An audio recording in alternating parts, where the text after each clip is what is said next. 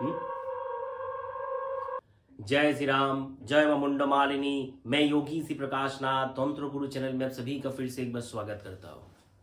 मेरा निवास स्थान और मंदिर दोनों ही कलकत्ता में आपके प्यार में आने वाले हर मुश्किल को खत्म कर देगा ये सिद्ध तांत्रिक टोटका। ये टोटका प्रयोग आप लोगों के लिए कभी भी जीवन भर में ये टोटका का उल्लेख किसी भी जगह में आप लोग नहीं सुने हैं। इसीलिए तंत्र को गुप्त विद्या बोला जाता है। जो भी विद्या है तंत्र में, वो शास्त्र में बोला गया है, गुरु भक्त दातव्यम नौ देयम जस्य कश्चाचित यानी कि जो गुरु से प्रेम करता है, गुरु भक्त दातव्यम नौदयम जस्य कश्चाचित जो गुरु से प्रेम करता है, उसी व्यक्ति को ये विद्या, ये मंत्र का उपदेश करो, इस सिस्टम गुज्जाति गुज्जो जिस सिस्टम है सिस्टम के बारे में बताओ। लाल पेन के तांत्रिक तो कोई भी बन सकता है। कर्म करने के लिए विद्या चाहिए, गुरु का कृपा और आशीर्वाद चाहिए। इसीलिए तंत्र शास्त्र का रचना हुआ है। और शास्त्र में ये जो श्लोक है, मेरा बना हुआ नहीं है। स्वयं महादेव ने बोला है नौदयम जस्य कश्चाचित इसके अलावा किसी दूसरे को ना दो।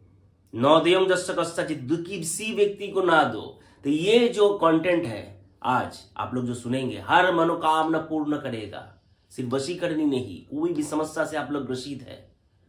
कोई भी समस्या से आप लोग ग्रसित है बार बार समझ लीजिए, मैटर को कोई भी समस्या से आप लोग ग्रसित है, हर समस्या का समाधान कर देगा मात्र दो दिन में। इतना ही शक्तिशाली, चमत्कारी उपाय है। आप लोग विश्वास के सहित इस अनुष्ठान को करके एक बार देखिए, उसके बाद मुझे ज़रूर बताइए। आज का कंटेंट अगर आप लोगों को पसंद आए तो वीडियो को लाइक कीजिए शेयर कीजिए सब्सक्राइब कीजिए मेरे चैनल को। साथ ही बेल आइकन को दबाकर नोटिफिकेशन बेल कॉल कीजिए। चलिए, मैं आज का कंटेंट शुरू करता हूँ। मेरे मित्रों, ये जो अनुष्ठान है, श्रीफल के वृक्ष इस वीडियो को आगे बढ़ाने से पहले मैं एक पॉइंट विशेष पॉइंट ऐड कर देता हूँ इस वीडियो में। इससे पहले भी मैं एक कल्प वृक्ष का वीडियो बनाया था। आप लोग को बहुत सारे लोगों को बहुत पसंद आया था वीडियो। आज भी इस वीडियो में भी उसी पॉइंट को उल्लेख करता हूँ। ये जो श्रीफल का वृक्ष है, इसमें हर देवी देवता का निवास है। मूल रूप से श्रीफल को माता लक्ष्मी का रूप, माता का हर समय दस महाविद्या का हर महाविद्या का निवास श्रीफल के वृक्ष में है।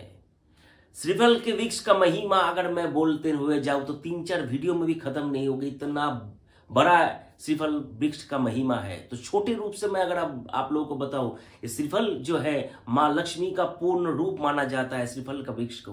देखिए, मेरे घर की जो सिफल वृक्ष है, कितना सुंदर फल इसमें हर साल लगता है। और इसी के नीचे मेरा पंचमुंड आसन है, इसमें मैं जाप अनुष्ठान में करता हूँ।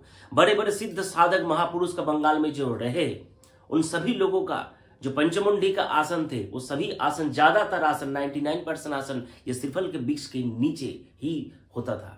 इसीलिए श्रीफल को बहुत ज़्यादा तांत्रिक विषय में श्रीफल को बहुत ज़्यादा वाइटल एवं बहुत ज़्यादा महत्वपूर्ण है। दुर्गा पूजा के समय जो अकाल बोधन होता है, ठीक है, जो आसीन मास का जो दुर्गा पूजा होता है, अकाल बोधन जो भगवान श्री राम ने जो अनुष्ठान किया था, उसी दुर्गा पूजा के समय माता का बोधन जो होता है, माता को उस वृक्ष के से ही आवाहन करके लेके ले जाता है, अपने घर में माँ आइए, उस वृक्ष का पूजा करने के बाद उस वृक्ष से माँ को आवाहन करके लेके जाना पड़ता है। माँ, आप आइए, पधारिए, मेरे घर में अनुष्ठान ग्रहण कीजिए। तो समझ सकते हैं उस वृक्ष का कितना महत्व है। तो आज का जो प्रयोग है उसी वृक्ष को लेकर, आप लोग के मन में अगर विश्वास है अगर श्रद्धा है, सबसे बड़ा बात है श्रद्धा। गुरु जी इतना दिन में होगा। Hundred percent guarantee. अरे भाई, तुम कर रहे हो, उसके बाद भी तुमको हंड्रेड परसेंट गारंटी चाहिए। मैं तो पैसा तो ले नहीं रहा तुमसे। तुम करे उसके बाद भी किसी के मन में शंका होता है। कोई भी कमेंट भी करता है। कितने लोगों का काम हुआ?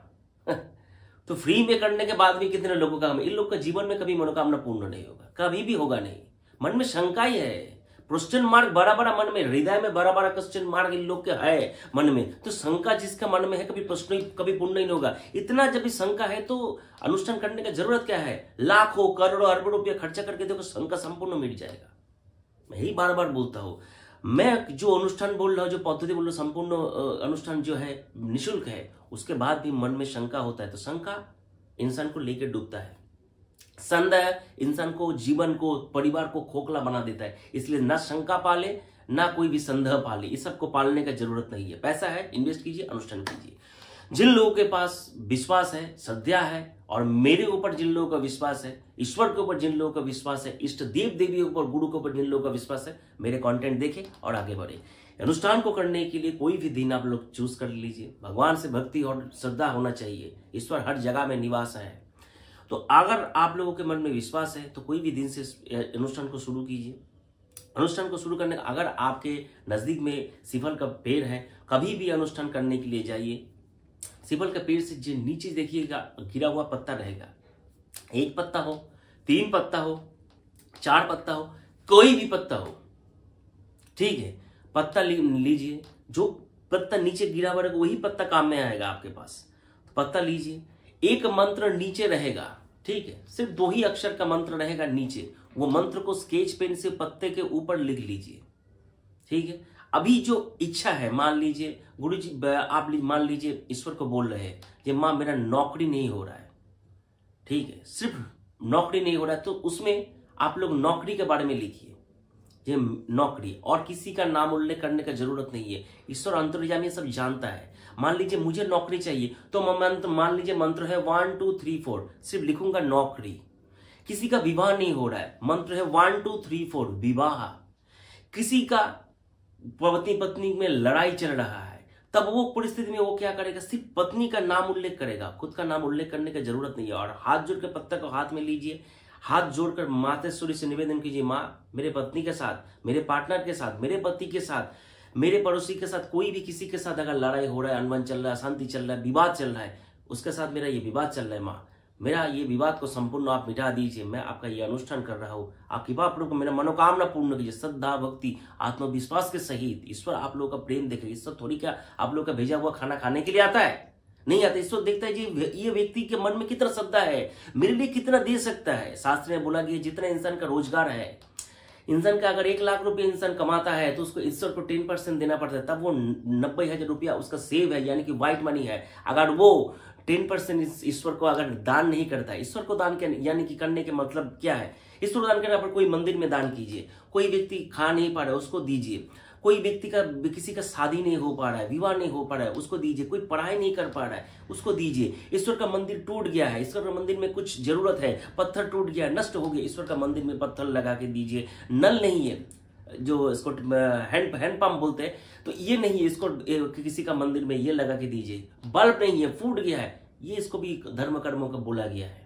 ठीक है, जितना आप में सामर्थ्य है, अनुष्ठान कीजिए तो ईश्वर देखिए इसको व्यक्ति के मन में कितना है। अगर ईश्वर के काम में आप लोग अगर टेन परसेंट निवेदन करते हो, टेन परसेंट ईश्वर आपको टेन प्लस टेन आपको लौटाएगा। दस गुना ज़्यादा आपको लौटाएगा ही शास्त्र में बोला गया है। लेकिन ईश्वर आपको देखेगा। ईश्वर के सामने जो भोग प्रसाद आप लेके जाते हैं तो भोग प्रसाद निवेदन करने के बाद थोड़ी ईश्वर उसको खाने के लिए ईश्वर देखिए साध्य व्यक्ति क्या, जो इच्छा, जो व्यक्ति मेरे से मिलने के लिए उसका मन में कितना श्रद्धा और कितना भक्ति है, मेरे लिए क्या कर सकता है? यही है। यही है मूल विषय। जो व्यक्ति इसको समझ गया, आगे बढ़ गया, नहीं समझा तो घूमता ही रहेगा जीवन भर। ठीक है, जीवन भर कीर्तन करें। छोड़िए तो दूसरा टॉपिक में जा रहा हूँ। तो ये संपूर्ण प्रोसेस हाथ में पत्ता को लेकर ईश्वर से प्रार्थना कीजिए। पार्टनर के साथ लड़ाई है, अनबन है तो भी हाथ में पत्ता को लेकर आप लोग ईश्वर से प्रार्थना कीजिए, प्रभु, मेरा अमुक मनोकामना है, मनोकामना पूर्ण की मात्र दो दिन ये करके देखिए। अभी ये पत्ता को लेकर करने के बाद उसी पत्ते को थोड़ा सा उसके जड़ जो है, ठीक है, जहाँ पे मिट्टी है फिर को मिट्टी में थोड़ा सा हाथ से ही मिट्टी को कोड़िए और पत्ते को लेकर पत्ते को मिट्टी को दबा दीजिए, बस। इच्छा हो तो एक घी का दिया, एक अगरबत्ती भी जलाकर प्रार्थना कीजिए। ये सनातन हिंदू धर्म का रीति है। ठीक है? जिस मंदिर में अगर कोई मंदिर में अनुष्ठान करने के लिए जाते हैं तो मंदिर में आप लोगों के पास सामर्थ्य है तो सौ रुपया दीजिए, सामर्थ्य नहीं है तो एक रुपया डालिए। जिसका जैसा सामर्थ्य है, जिसका जैसा कैपेसिटी उस हिसाब से श्रद्धा और भक्ति ईश्वर को दे रहे ईश्वर सब जानता है आपके पॉकेट में कितना है, एक करोड़ लेके घूम रहे या एक रुपया लेके घूम रहे ईश्वर सब जानता है। ईश्वर से छुपा कुछ है नहीं। आप लोग मेरे से छुपा सकते हैं, पृथ्वी के लोग से छुपा सकते हैं, लेकिन ईश्वर से आप लोग कभी भी, परमात्मा जो ऊपर बैठा है, ठीक है देवादित्य महादेव जो ऊपर बैठा है तो उससे कुछ भी नहीं आप लोग छुपा सकते। इसीलिए संकोच बिना किए दीक्षा लीजिए, संकोच बिना किए मंदिर में जाइए और दान दक्षिणा और ब्राह्मण को भोजन आदि कर्म की इससे आप लोगों का पूर्ण फल अर्जन होगा। जो पुण्य फल से आप लोग इंसान का, ये मनुष्य जीवन धारण किए, अगर आगे जब भी आप लोगों का जन्म होगा, उत्तम से उत्तम कुल में जन्म होगा और अभी जिस परिस्थिति में आप लोग हैं, इससे भी बढ़िया परिस्थिति में आगे जा सकते हैं। यही सनातन धर्म का रीति है। इसी तरीके से जुग जुग से यही परंपरा और यही नियम चल रहा है।